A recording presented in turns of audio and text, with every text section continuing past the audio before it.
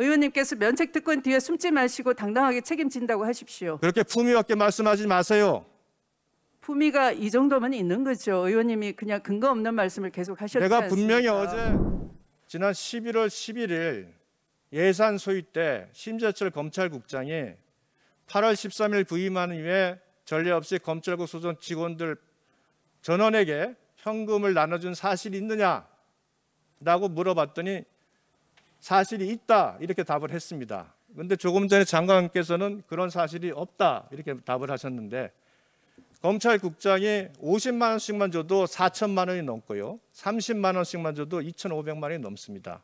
장관, 이거 알고 있었어요? 아마도 어제 그 야당 의원들께서 법사위에서 검찰국장에게 50만 원 동봉투를 돌렸는지 에, 느닷없이 물어보셔서 어, 검찰국장은 어, 그런 사실이 없다라고 명확하게 얘기를 한 것이고요. 이거는 제가 다 확인을 하고 답변을 했고 녹취록에도 있습니다. 네, 회의록을 보시면. 네. 그러니까 거기 그 답은 만일 그렇게 말씀하시면은 검찰국장이 위증을 한 거고 만일 그렇게 저- 지금 장관님께서 그런 사실이 없다고 한다면 장관님께서 위증을 하신 겁니다. 네, 회의록을 보시면 될 것 같습니다. 예, 있습니다. 정확하게 네. 그렇게 답을 했습니다. 네. 그럼 장관님은 모르셨어요? 어, 저는 그 이영렬 돈봉투 만찬 사건 이후에 그런 사실이 없다는 것을 제가 확신하겠습니다. 제가 그 소속의 저를 보좌하는 법무부 어- 어떤 누구도 이, 이 돈봉투 만찬 사건에 대해서는 대통령께서도 엄정 수사하라라고 지시를 하신 바가 있어서 이 정부의 국정 수행 자세를 잘하고 있는 법무부 공무원들이 그렇게 어긋나는 행동을 하리라라고는 생각하지 않습니다. 저도 그랬으면 좋겠는데 그런 일이 벌어졌습니다.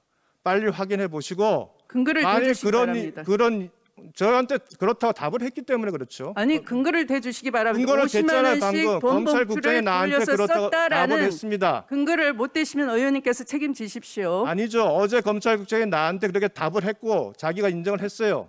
그건 내가 책임질 일이 아니라 장관님이랑 검찰국장이 책임져야죠.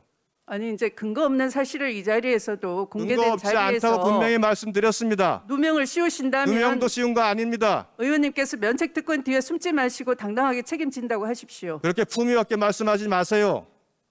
품위가 이 정도면 있는 거죠. 의원님이 그냥 근거 없는 말씀을 계속 하셨지 내가 않습니까? 분명히 어제 답을 들었다고 하고 녹취록 녹- 속기록에 있다가 다 말씀을 드렸잖아요.